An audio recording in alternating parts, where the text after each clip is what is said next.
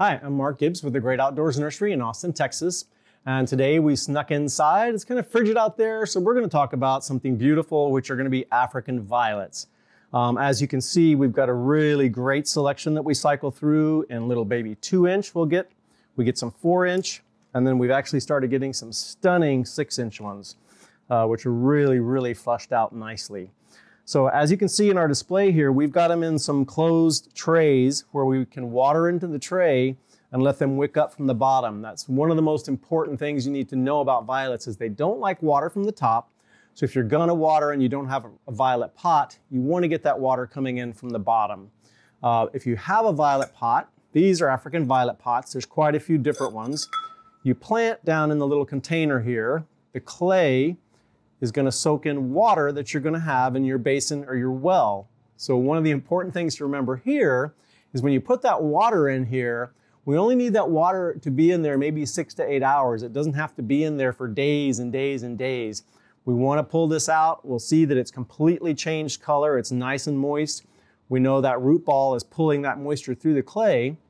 And in a few, maybe seven to 10 days, we'll check this again and see if this has begun to dry out. If it has, then we'll put some more water back in the well. But we just don't want that water standing in the well. It can get kind of gross if it does. Um, and you really want that airflow to continue. Uh, so you want that water out of there so you allow that air to penetrate and let that soil soak up that moisture from the interior of the clay. Um, there is African violet potting soil. So you want to be sure to use that if you're going into a transplant or you're refreshing your soil uh, which we do recommend doing after a year, year and a half.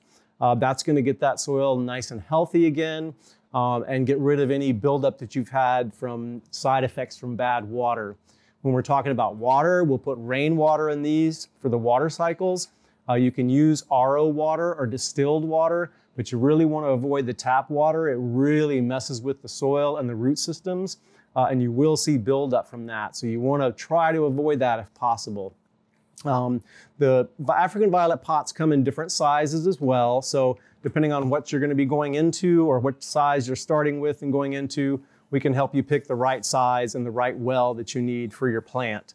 Uh, there is African violet food, um, and this is a pretty minimal ratio. It's a 131. So this is something that you're going to use when it's begun to cycle down in the flowers. Um, what's great is this company has added some trichoderma and some bacillus which really help the soil stay healthy again. Because it's in that closed environment with the clay, um, we want that soil to stay nice and rich, and this prevents any disease from building up at the soil level. So definitely check that out for your in-between cycles on watering. You can see we've also got a light system up here.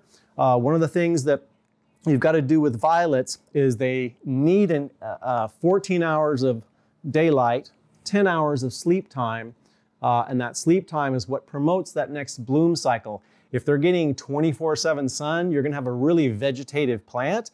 It may get huge, but you may miss flower cycles because it's not getting enough time to sleep to build up that flower bud and that flower cycle. So when you get your light balanced right, eastern windows are pretty good for that, dictating that on and off cycle.